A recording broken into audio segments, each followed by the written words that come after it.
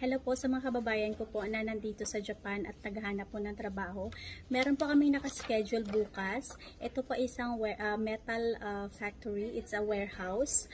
Ah, kailangan po namin ng limang tao dito. So, kung hindi po kayo nagsasalita ng Japanese, ah, English po ang interview nito. So, chance nyo na po sa mga ah, hindi nagninihongo po. English po ang interview. Lima po ang kailangan namin. So, nakaschedule po ito for interview bukas po, July 7, ah, Friday, ah, dito sa ah, main office Tokyo at Kanda Station. So, kailangan po namin ng limang tao.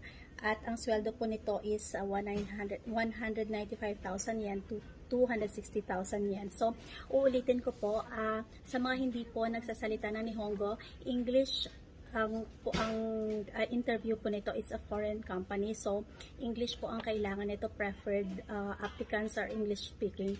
So ah, kung kay, gusto niyo po mag-apply bukas po ang schedule comment lang po kayo down below or you can also call our office number at 0362068058 thank you po